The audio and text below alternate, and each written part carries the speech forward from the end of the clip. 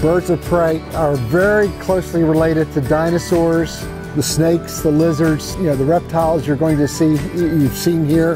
Right now you're seeing a peregrine falcon. In the past few years, the peregrine falcon has been delisted. No longer is it endangered, it's not even threatened, it's just protected.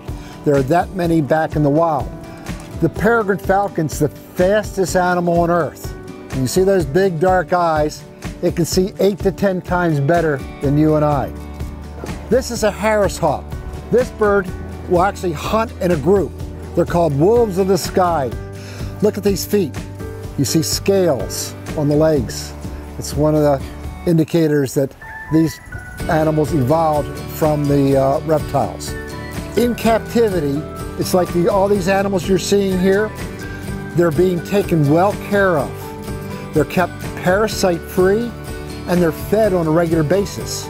Plus their habitat is very, very conducive to what they have in the wild.